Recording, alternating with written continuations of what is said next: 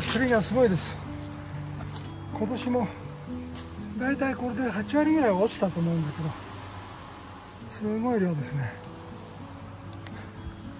伊賀を片付けるのが大変で実もいっぱい落ちてるんだけどこの実も小さくてね食べるには人間が食べるにはちょっと手間がかかりすぎてダメですね。それで不思議なもんでこの栗の実は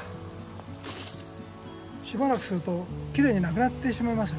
だから鳥が持ってくのかリスか小動物が来るのか。今は実はいっぱい落ちてますけど。時期が来ればまるっきりなくなっちゃいます。何何？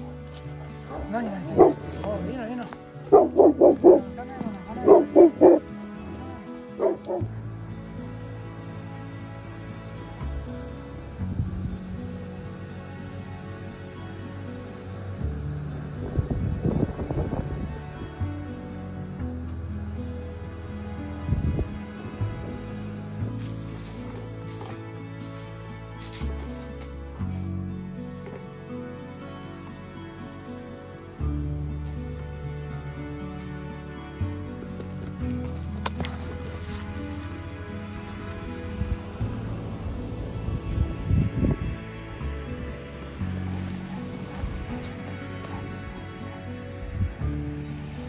えーこの木を切ってしまえば栗の栽がなくなるんだけどもともとこういう大きい栗の林の中に家を建てたわけだから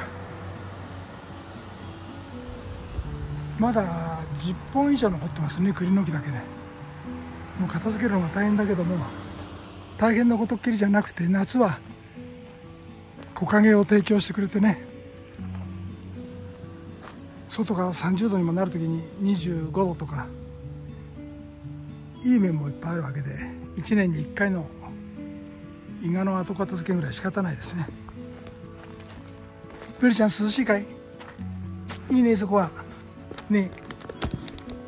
ね。え栗のおかげで涼しいね。